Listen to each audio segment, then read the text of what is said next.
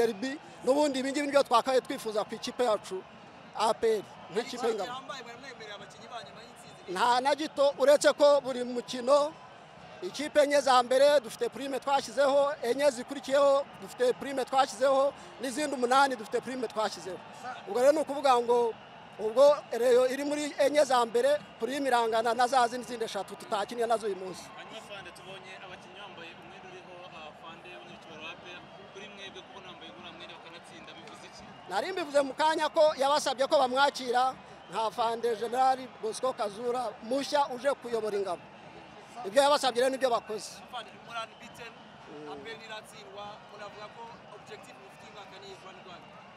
Objective ngira ngo umwaka ushize muzi ko tutakoze neza. Ibyo turabyemera kandi mu mupira w'amaguru niko bigenda nubwo hari abajya bashaka kugira politiki cyangwa kubera yuko ariko twabamenyereje ko aperi buri mwaka igomba kubona igikombe ariko umwaka ushize twabuze na kimwe.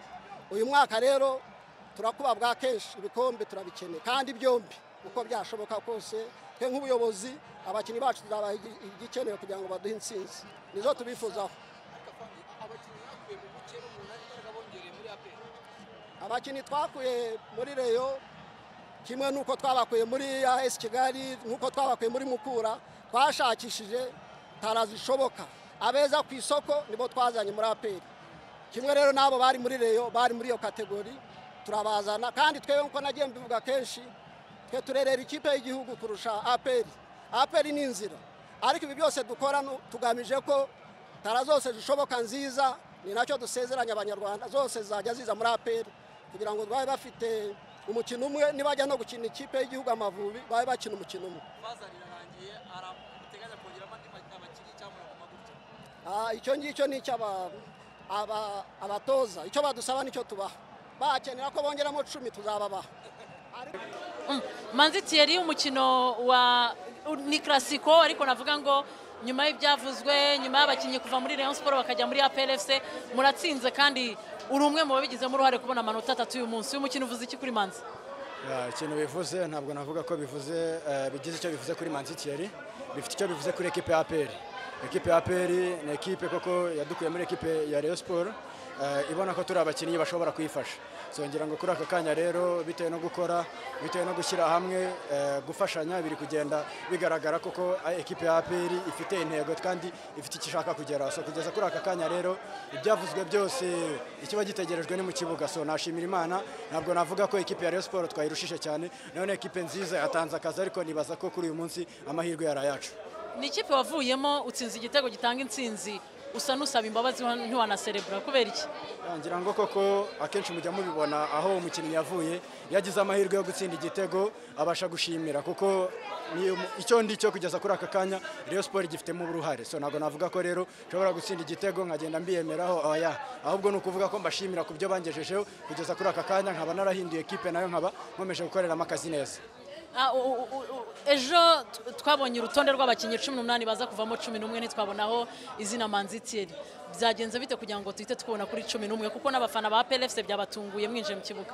Ngira ngo ko hashize imikino ibiri ntakina nari mfite imvune uh, iyo mvune rero yari kugeza ku munsi w'ejo byari bitaramenyekana. Ariko uh, abatoza ba- bahisemo gusohora urutonde rwagombaga kuzakina. So njyewe byari kurangira mvuze ko nzakina kwa gatandatu cyangwa eh, nkavuga ko ntazakina. So uyu munsi rero wari uwo kudesida nkavuga ko nshobora gukina cyangwa ntashobora gukina. Rero nabyutse niyumva neza bituma numva koko ko nshobora gufasha ikipe yanjye imana iramfasha na- na- ndanabikora. Gutsinda derby kurangiza igice cya mbere cya shampiyona muyoboye bivuze iki muri vestiaire ubu ngubu? Ngira ngo koko ekipe ya APR ni ekipe ihora iho- iharanira intsinzi. Gutsinda derby si ukuvuga ko ariyo match yonyine tuba dutegereje.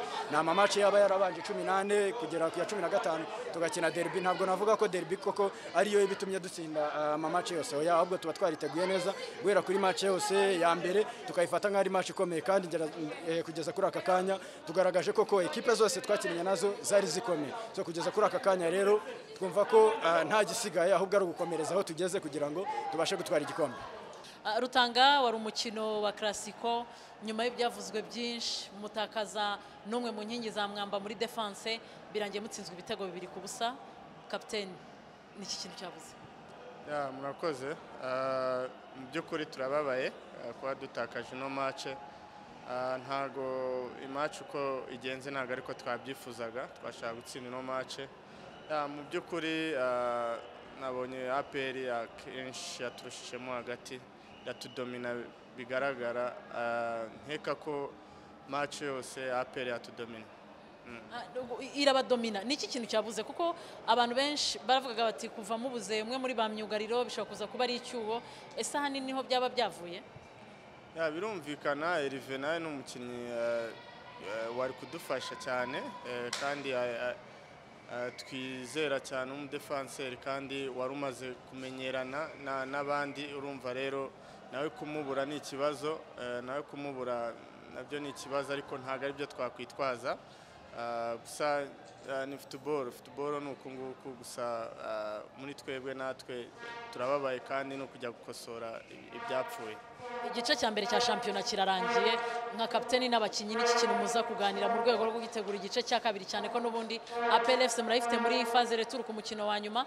Deja mu gihe murangije igice cya mbere noneho iba ariho imbere amanota arenze atatu y'umukino umwe. Ya, birumvikana turangije igice cya mbere cya shampiyona eh, baturusha amanota atandatu. Ariko ah, ntabwo twacika intege kuko ah, shampiyona hasigaye indi mi- mikino kandi cumi n'itanu. Bi- bisaba ko tugomba gukora. Shampiyona ni ndende ndakeka ntabwo twahita twiheba ntabwo twavaho kuko ari aperi isigaje izindi mace cumi n'eshanu. Natwe nizo dusigaje. Ndumva rero ndumva rero tutacika intege kandi igihe kiracyahari. Mu by'ukuri intsinzi irashimishije cyane. eh, nka pole na ekipe ya Sport eh, ni futuboro twe twaje mu kibuga dushaka gutsinda urabona ko twanabigezeho. Asef ni iki kintu kibafashije? Kuko ni umukino abantu bose bari bakaniye ntekereza namwe bya rugo Eh, mu by'ukuri tubaze kuba abakinnyi bakuru tuzi ukuntu dutegura match zikomeye eh, urabona ko twari determine umusifuzi twamuritse asifura ibye twe tura- turafokasi eh, ku cyatuzanye. Niyo mpamvu ubona twabashe kwitwara neza. Ku ruhande rwawe ni umukino navuga ngo wakinnye mu buryo bwiza biri perfect ufata sarponga bura n'uburyo yabatesha umutwe nk'umwe mu bakinnyi bamaze kubatsinda ibitego byinshi. Uyu mukino umunsi wari wawuteguye gute? Eh, mu by'ukuri sinavuga ngo nawuteguye bihambaye. Eh, nawushyize mu mutwe numva ko ari match ikomeye. Eh, nagushyira n'ikipe wavuyemo kandi ibintu byavugwaga ni byari na byinshi. Urumva ibyo bavugaga twe byatumotivaga ntabwo byaducaga intege. Mbese ni match nagiye mu kibuga njye na bagenzi banjye tumva ko tugomba gutsinda uko byagenda kose Ah, gusoza igice cya mbere muri ku mwanya wa mbere munatsinze Rayon Sport biraza kuba bivuze iki muri ekipe yanyu. Eh, ni morale nyinshi reba nk'ubu tugiye mu karuhuko eh, ka ka fazari gatoya k'iminsi mikuru. Eh, turagenda dufite morale duhaye n'iminsi mikuru abayobozi bacu ngo bari babidusabye. Eh, mbese ni icyerekana ko iyi motivasiyo yo gutangira returu turi hejuru kurusha uko twari tumeze ubu ngubu